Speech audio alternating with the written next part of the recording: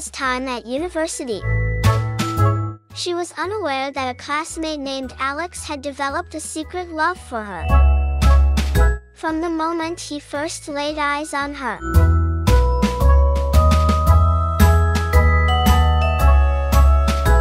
Although Alex and Elsa were classmates, he only knew Elsa was the chairman of the Students' Union.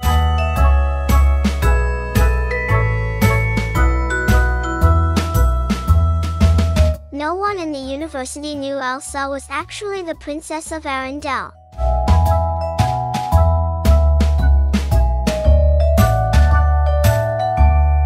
Just a week before their first Christmas after university, their faculty organized a tennis competition, with the prize being presented by Elsa herself.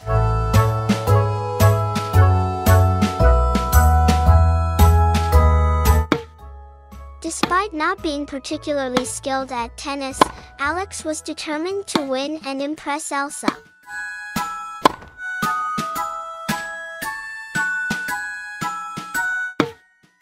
He managed to reach the final match, where he initially trailed his opponent but fought back to level the score at two sets all.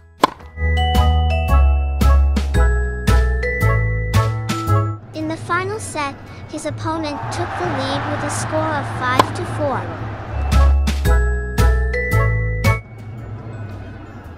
With unwavering determination, Alex fought tooth and nail to save every ball.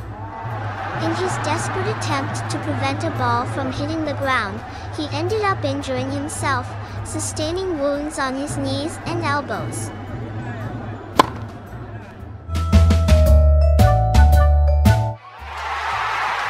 Ultimately, Alex won the competition, but not without sacrificing his own well-being.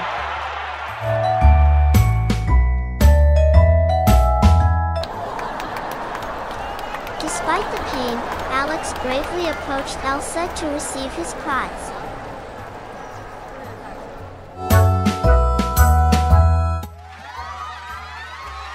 Their hands touched during the handshake, Alex couldn't help but gaze into Elsa's eyes, his love for her shining through.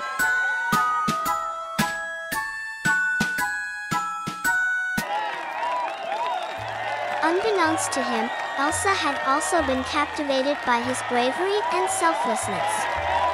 She admired his unwavering determination to win, even at the expense of his own well-being.